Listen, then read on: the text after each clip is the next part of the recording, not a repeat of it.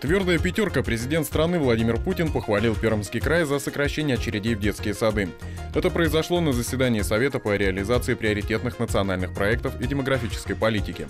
Напомним, в прошлом году в Прикаме было создано 3088 дополнительных мест в учреждениях дошкольного образования. В текущем году запланировано открыть еще более 7 тысяч мест.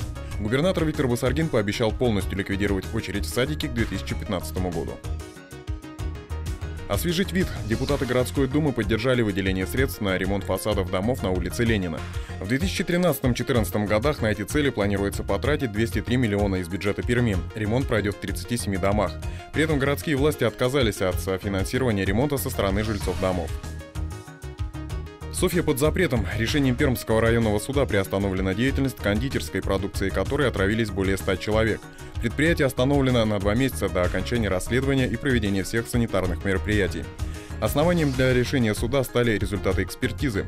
Фактически подтвердилось, что причина вспышки сальмонеллеза кроется в тортах «Старая Прага», «Трухлявый пень» и «Вишня в коньяке». На сегодня число пострадавших достигло 114 человек. В лечебных учреждениях находится 94. Диагноз сальмонеллез подтвержден у 19 пациентов. Андрей Григорьев, телевизионная служба новостей.